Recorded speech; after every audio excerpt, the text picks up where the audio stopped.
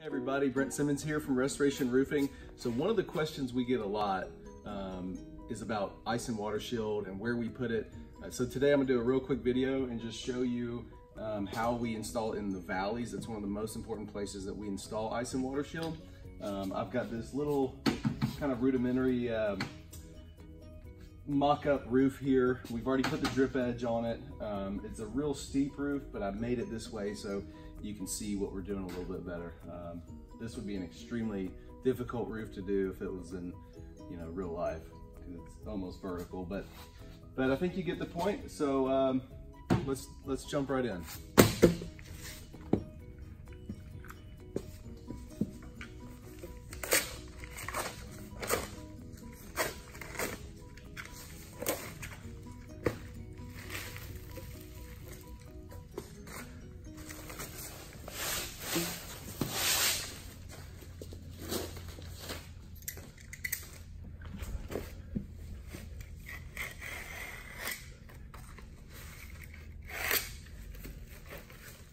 So I cut a piece of ice and water shield off. Um, this is the piece I'm gonna install right here.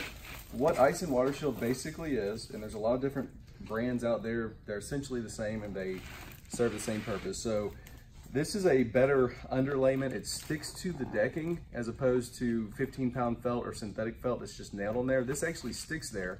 When it gets hot, it kind of forms to the wood. It's really hard to get it off once it's on there. Um, and it's also self-healing to a degree.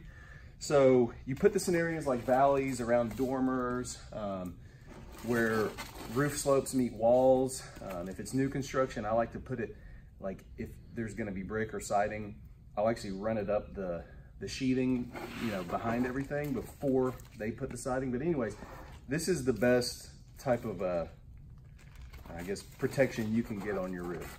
So for the Memphis area, we put this in every single valley. Um, it's just a really good material. So I'm gonna show you how we put it on. It's really easy. Stop it.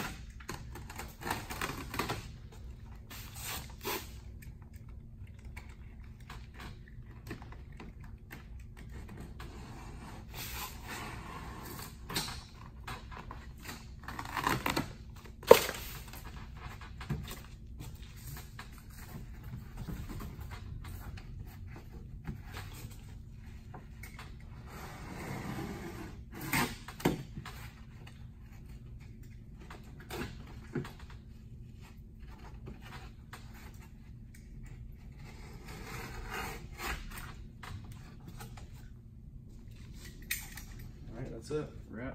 So there you have it, folks. This is ice and water shield installed in a valley. Um, again, this is the best protection you can possibly put um, on a steep slope roof or any shingled roof. Um, it's a it's a great material. We use a lot of it at Restoration Roofing, but that's pretty much it. Pretty simple. You want to make sure if you're getting a roof that you see this going in all your valleys. Thanks a lot.